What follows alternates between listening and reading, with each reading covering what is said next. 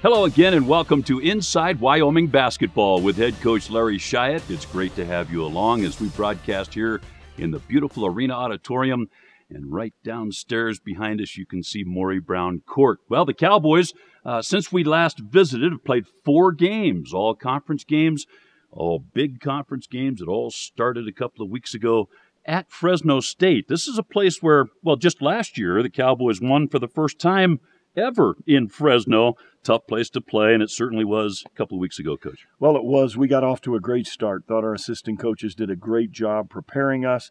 And then it was sort of Groundhog's Day. These next three games would be uh, three minutes to go in the game, uh, tie score, anybody can win. We came up short at Fresno, but boy, I'll tell you what, those next ones were probably special Saturdays here at the Double A. Well, I'll say, and that leads right into that Saturday ago when the Cowboys hosted the old rival Colorado State. That was such a, a great game. And it was one of those games where you said Groundhog's Day, but the Cowboys closed the deal in this one. We did. Great crowd, great student crowd, great general crowd. Uh, it really seemed to me like the old double A in the 80s because it was loud, the energy was there from start to finish. And as you say, our guys did what they needed to do to finish that game and come up with a big, big game over CSU. Yeah, I thought this was a total team effort. The big three were certainly in evidence in that Colorado State game. Now you hit the road again as the Cowboys. Uh, this was quite a trek. It's quite a journey. Uh, quite an adventure, actually, to get to Colorado Springs and then play the Air Force Academy on a snowy Tuesday night. Well, it was a snowy three days, and we left Sunday night on purpose because they got close to two feet of snow. Uh, but a good trip. Our guys were rested. And again, I thought our assistants did a great job getting them ready. We led by as many as 14 early. But boy, when the slide came in the second half and we missed some shots and they knocked them in, the energy completely changed at the Air Force. Again, three minutes to go. Anybody's game, we come up short. So after probably one of our most gratifying wins at home against CSU, we would lose to Air Force, come back this past Saturday again. A great opportunity for us. And the basketball gods definitely shined on us, Dave, that night. 20 made threes. Uh, everybody got in the act. I thought it was uh, very indicative of what the Cowboys would do. They come out in the Kenny Sailors number four shooting shirts, warming up, and I'll be darned, 20 threes, a Cowboy record. No Cowboy team had ever dropped that many threes in a single game. Uh, boy, what a shooting display. Really, uh, especially in the second half, right throughout the game, the Cowboys knocking down the trays. Yeah, we had 10 each half. And yeah. you know what? I, I have a sneaking suspicion that old Kenny was up there slightly above the rim, just sort of manipulating that ball back through. But a great crowd, a great day. Uh, we don't usually win games by 20, so it really was a new feeling for this team and comes at the right time with this dead week.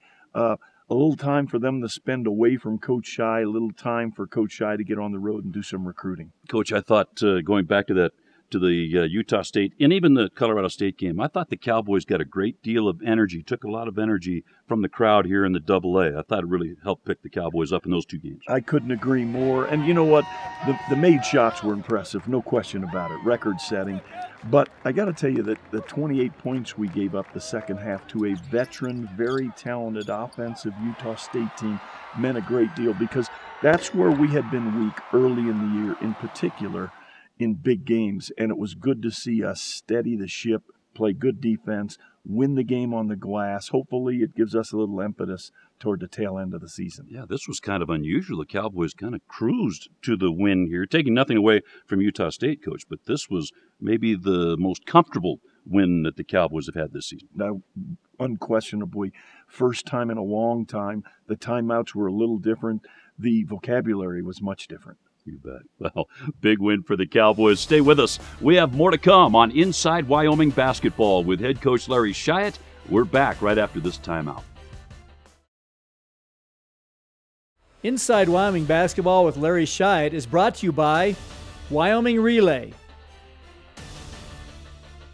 the University of Wyoming Outreach School, the University of Wyoming International Programs Office, and your magnificent seven Wyoming Toyota dealers.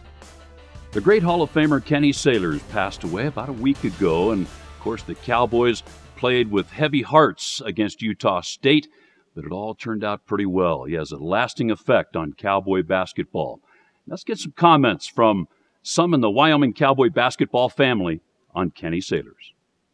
If, if a state had a mascot, it would be Kenny Sailors. And I, and I think that we are so fortunate to have had a man uh, that was that big. He was a big man who led a big life, and, and uh, I always respected being around him because he, basketball, he could never understand what was the big deal about it, what was the flap about, um, that he invented the jump shot.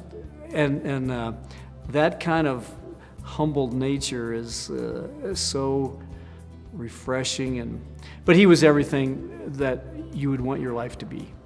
Well, I don't really know if I can relate what Kenny meant to so many people in the state of Wyoming. I can assure you he meant a great deal to our program. And what I think rang the bell most to me was he spent as much time with my son Jeremy in his office as he did myself. He would talk often about the relationship of coach and player. He would reflect a lot about his coach here at Wyoming and some of the similarities. Uh, he had that level of toughness but that soft spot as well. Um, Kenny will be sorely missed by so many of us. Um, I didn't know him as well as I wish I could have. Uh, he started coming to like one practice a year, um, starting my freshman year, I think, and so you know we got a chance to meet him. Uh, every time he came, we got to, got to go over and introduce ourselves, shake our uh, shake his hand, uh, and whatnot. But um, uh, you know, just to have that that impact on our team and that kind of uh, influence. Uh, you know, everybody knew who he was. It's the only jersey in the rafters. Uh, so, you know, it's really a, an awe-inspiring uh, situation to have him around. I mean, it was great. I mean, look, we would look over and see him watch him practice, and there's a couple times. Um, you know, we would get him, we'd meet him after practice, and he would say a few things to us. Um, he was just a great guy to have around. Um, great to have him with the program. I mean, he's a, a living legend. Um, you know, he transcended the game. Uh, you know, Naismith invented it, and then you know something that we all take for granted, like it's always been there, uh, is the jump shot, and especially for a guy like me, uh, who really enjoys that aspect of the game. Uh, you know, it means a lot to have that as a part of our history. Well, he was such a modest gentleman that I don't know if it meant as much to Kenny as it did this university and this state. I think the significance of not just winning a national championship, but being the MVP of both the NCAA and the NIT that same year, it rang a bell nationally. Uh, people like Bob Knight revered this man. When Bob did our game against San Diego State a year ago, he would come and visit Kenny and spend some quality time with him. To me, that's the significant. And what a disappointment that while he was with us, he wasn't in the Hall of Fame nationally yet, but that day is coming, and that's going to be a proud moment for a lot of us, as well as Kenny and his dear wife. Uh, but the fact he's not in there is uh, just really a tragedy to me, um, because uh, there is a guy who, uh, more than anybody else in, in the history of that game, revolutionized the game. And, and when a guy like Bobby Knight says that, and some of these other guys who are uh, totally giants in, in the sport, you're going, why isn't he in there? And hopefully one day he will be. Kenny Sailors have a lasting effect on Cowboy basketball, and coach, uh, uh, his passing kind of signaled a, a wake up call, maybe of sorts, for the Cowboy basketball team. Uh, that first game after his passing, Cowboys right there to uh, and, and this arena had a big, big game against Utah State. I thought he was with the team that night. Well, there's no question. All of our guys have had a chance, thank goodness, to meet, greet, and visit a little bit with Kenny Sailors in the past. I think he meant a great deal, not just to our team, but our staff. And this is a way to not only show the public how we feel about Kenny Sailors passing, but also maybe a little indentation of what a do really means to us and hopefully to all. If there was anybody, as I had mentioned earlier, who represented all three aggressiveness, discipline, most of all, unselfishness, he, he had a soft touch. Tough guy, soft touch. And that was brought out by his son, who did a wonderful job mm. with his eulogy. You bet. Kenny Sailors will be missed. You stay with us. We have more to come on Inside Wyoming Basketball with head coach Larry Shyatt we're back right after this.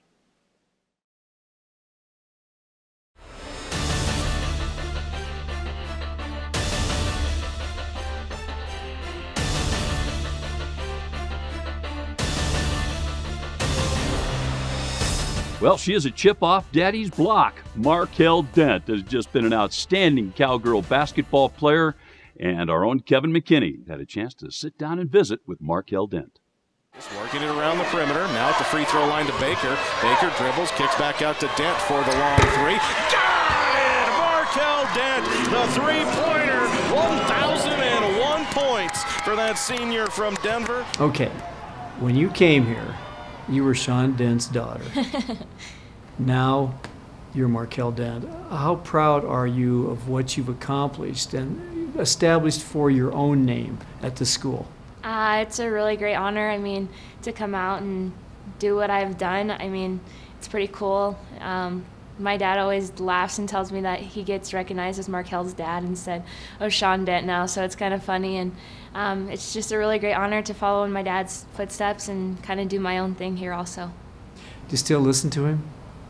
Yeah, all the time. And um, sometimes we get in a little bit of arguments after the game just because he is my biggest critic, but also he is my biggest fan, which is really cool. And um, he tells me different things that I have to work on, and but he also praises me when I do great things. So um, it's really cool to have a dad that played a point guard position like I did, like I do. So it's really nice.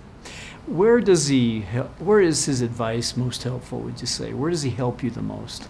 Um, he just helps me um, try to keep my head in things and stay positive. And um, being a point guard, you got to talk a lot on the court and got to make sure you're positive with the whole team. And um, he helps me in that aspect, and then helps me with um, playing defense, playing offense, and just little things on the court that I need to improve on. Maybe you answered that, but where do you believe you've improved the most from when you arrived here to where you are now? Uh, I think the biggest thing is just um, probably my jumper. I didn't shoot as much my freshman year and um, got in the gym and made sure I got up a lot of shots and just try to get better within that aspect because I knew um, being a passing point guard, people were going to be able to take that away, and I had to do something else to help my team out. And um, I think I just put in a lot of effort and work just to try to get that jumper, and I think I did a pretty good job at it.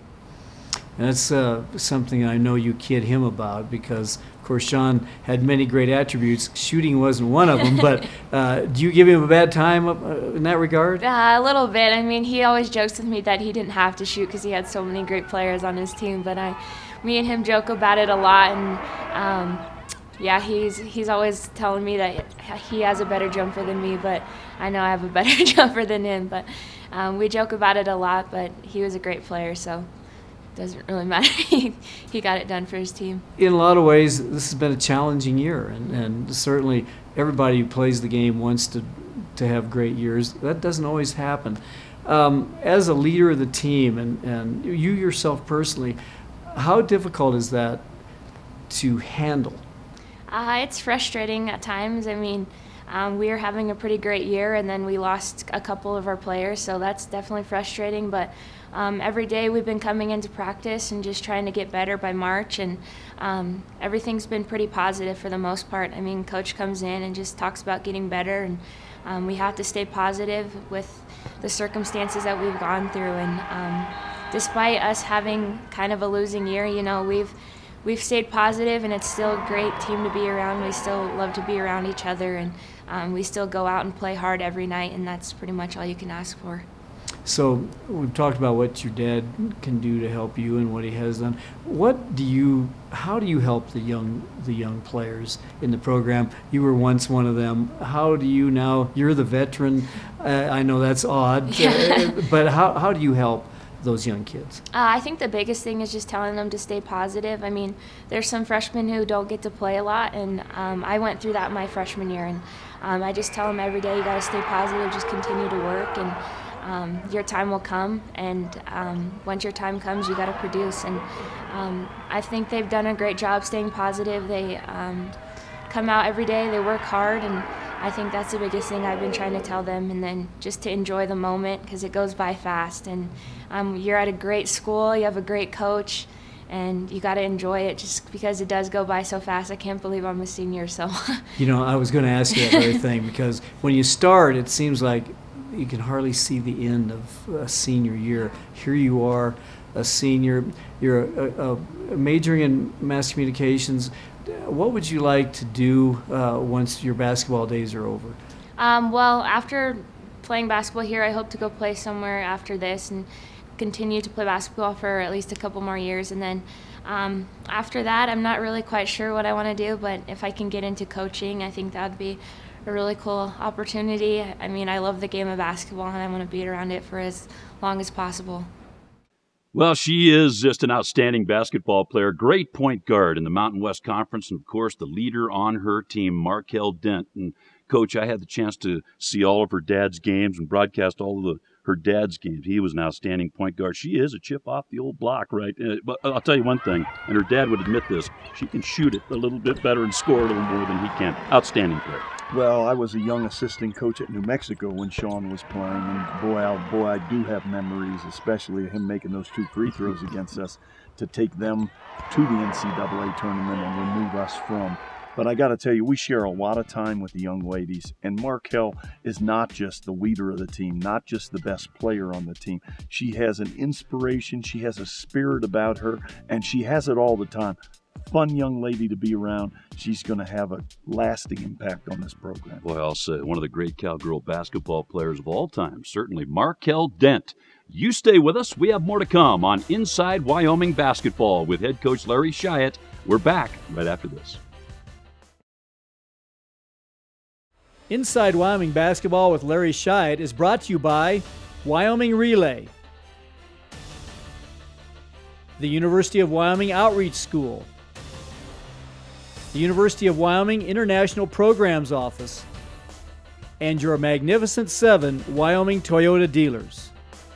Well, the Cowboys are heading down the stretch. Mountain West Conference play, to be sure, they'll play on Saturday in Boise against the Boise State Broncos. Six games to play in conference play and in the regular season. Three on the road, three at home. I know I'm looking way ahead here, and that's not right. But uh, let's back up a little bit. You do get the so called bye midweek this week. How will the Cowboys make use of that? Does it come at a good time, Coach? Well, it comes at a great time. We're the last team to get a bye. But, you know, something said about rhythm, and we've had rhythm. We've played two games a week now for six or seven weeks. So this comes at a good time. We're just battling the flu bug and seemingly over it. Good time for them to get away from Coach Shy. Good time for me to get on the road, do some recruiting.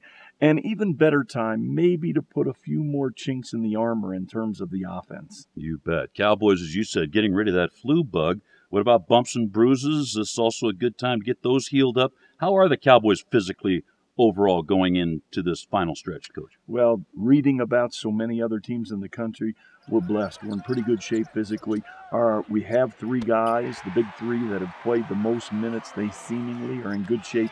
But again, this is an opportunity to rehab a little bit, to do some extra shooting. We will not get back on the practice floor with Boise in mind until Thursday. Well, there you go. Boise State Broncos. They're very good at home. Uh, uh, always have been since they came back into the league. They've been a formidable foe. Very good basketball team veteran team. Yeah. They have a lot of returners. They hit you with a, a different type of unique approach because both of their post players are deep three point talents. So you have to honor them close to the basket. And in particular, you have to be ready for quick threes. We'll be uh, a little bit in better shape this time. Of course, that was the game that the Mountain West decided to suspend Josh Adams. So hopefully, Josh will give us a little extra enthusiasm a little extra talent on the floor. These are kind of the dog days, are they not? The gut check time, six games left, so you've got two thirds of the conference season done, a third to go, and jockeying for position, all that kind of in play right now, aren't Yes, this is the time of the year, February, as I tried to describe to the team. It's gut check time. Every team is on high alert. Offensively, defensively, every game is important to position you for your tournament because the upcoming tournament really decides, in so many cases, who will and who will not be attending the NCAA tournament. As you look at this team right now, Coach, two thirds of the way through conference play, boy, they have played so hard, left it all on the line. This is a fighting bunch of Cowboys, isn't it? Well, the surprise for me was exactly what you say. In June and July, with the six seniors gone and new players, six freshmen, six sophomores, you are concerned and worried how will we compete? In particular, how will we compete against the better teams on the schedule. We, in fact, have played our very best. We've come up with some huge road games. We've set some records. Sort of something to put in the back of their heads when tournament time comes. I can say this road thing is no big deal for the Cowboys. They played very good games on the road, won some big road games. Doesn't seem to phase this bunch at all. No, some of our best efforts, uh, Mexico State, Mexico, Denver, have been on the road, even falling short. There's been no difference statistically on this team, home and away. The only stat that stands out right now is our turnover margin. A lot more turnovers on the road, a lot more turnovers in the losses. Hopefully, we can fix that because the last couple weeks we have improved. Well, looking forward to that stretch run. It all starts Saturday afternoon in Boise, Idaho, as the Cowboys take on the Boise State Broncos. Come back next time, take a look at the highlights with us right here on Inside Wyoming Basketball with head coach Larry Shyatt. For the head coach, I'm Dave Walsh. So long.